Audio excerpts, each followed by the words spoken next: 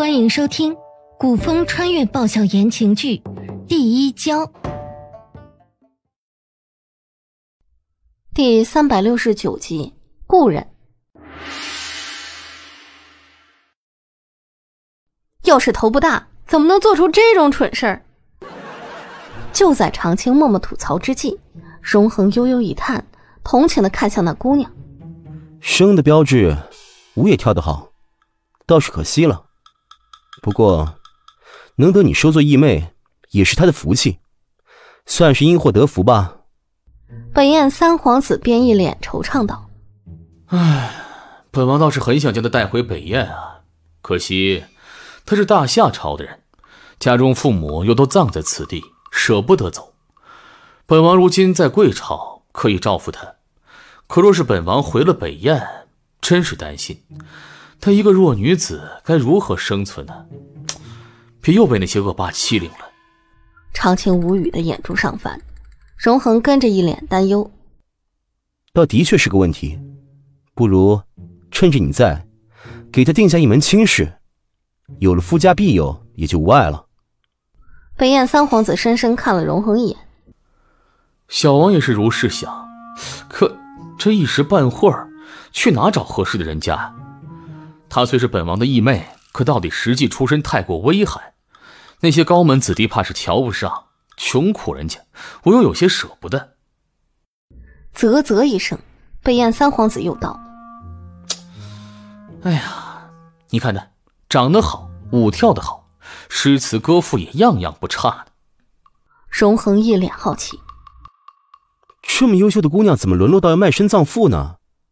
想要精通歌舞诗词，在我朝都是大户人家的小姐才能做到。他家原先也是富庶，父亲经商遇上山贼，被打劫了贷款，一夜之间家财散尽，父亲又吐血而亡。这才沦落到那般境地。荣恒怜惜的看着他，真是可怜。北燕三皇子眼见荣恒如此，便试探道：“殿下宅心仁厚，不知可否帮小王解决这个难题啊？他虽出身不好，可到了现在也是本王的义妹了，给殿下做个妾，也不算辱没殿下。”长青，你以为我家殿下傻是不是？荣恒，好。长青，惊呆了。殿下，您刚才不是不傻，现在怎么又傻了？荣恒圈了长青一眼，目光赫赫。不要多事。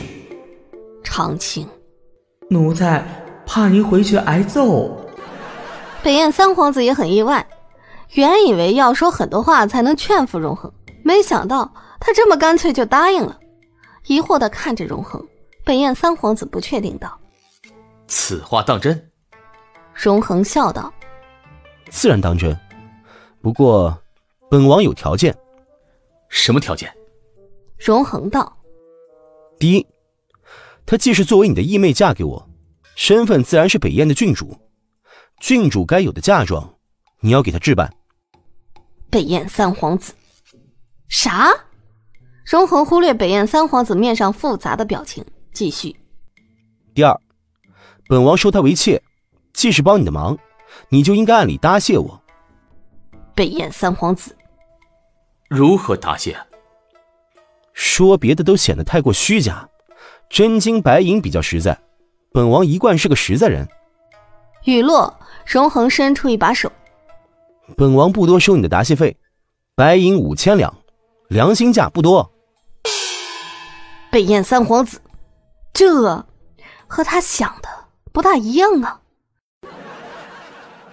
难道不是荣恒在他的刺激之下，心头苦闷、烦躁不堪？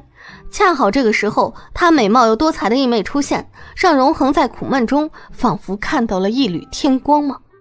怎么眼下荣恒像在跟他做交易啊？北燕三皇子朝他义妹递了个眼色，义妹会意，当即停下舞蹈。叠着小碎步上前，朝荣恒盈盈一扶，温柔轻巧，一双剪秋，端的是情意绵绵。小女凌霜早就仰慕九殿下，不成想今日竟是有缘见到，林霜敬九殿下一杯。酥软的声音像是要把谁的骨头都给化了一样。荣恒看着他，你认识本王？凌霜红着脸，满面娇俏。五年前，小女在桃花林遇恶霸缠身，意外得殿下一救。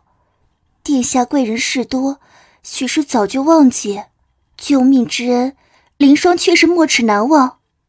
荣恒一惊。五年前，他的确是救过一个被恶霸欺凌的姑娘，没想到竟是眼前这个凌霜，会有这么巧合之事。苏青说过，所有的巧合十有八九都是人为安排的，这话他信。媳妇儿说的，笑容一暖，荣恒道：“没想到，时隔五年，居然还能见到，的确是缘分了。”北燕三皇子意外了。荣恒和凌霜还有这么一段，圈了凌霜一眼，北燕三皇子笑道：“哦，既是有缘。”荣恒笑道：“缘分珍贵，岂能用金钱衡量？五千白银免了，你只把她的嫁妆送到府邸就是。”北燕三皇子怎么还要嫁妆？荣恒笑道：“要嫁妆，我也是为了她好，毕竟她出身不高。”而我府中正妃、侧妃身份都不低，她若嫁妆再不高点儿，日子怕是难熬。北燕三皇子好像很有道理的样子。啊，好说。凌霜既是小王的义妹，小王便按照郡主的规格给她置办嫁妆。不过凌霜嫁过去，殿下可要保证，不能让王妃欺负了她。荣恒点头，这个好说，一定不会。长青，他觉得他家殿下离死不远了。至于这个凌霜，王妃自然不会欺负他，福星大概会直接抽死他吧。他家殿下这到底是下的什么棋呢？他怎么有点看不懂呢？顿了一下，荣恒笑道：“你若是不放心，今晚上的晚宴，不如带凌霜去赴宴，到时候我当众宣布迎她进府。”北燕三皇子，事情发展的速度完全不在他的掌控范围内了呀！荣恒居然主动提出这种要求，这一刻，北燕三皇子开始怀疑荣恒是不是在打别的什么算盘。可去着荣恒的神色，又实在不知道他这么做能有什么好处。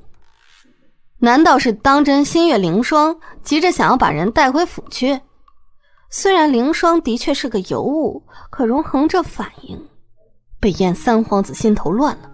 凌霜红着脸，一副小鸟依人、柔媚的样子，立在荣恒一侧，满目的爱慕。日后凌霜一定好好服侍殿下和王妃。荣恒温柔的笑了笑，转头看向北燕三皇子：“这件事，你若同意，就这么定了。不过……”凌霜是你义妹的事，最好还要有货真价实的文书，不然商贾出身，到底容易招人口舌。北燕三皇子心头转着心思，应道：“结拜之事，文书好说，只要本王亲自写了文书，再加盖上本王的私印，他便是真正的郡主了。”那，你带了私音了吗？点赞、评论、分享是最好的催更方式，更是我们的动力。我们下期见。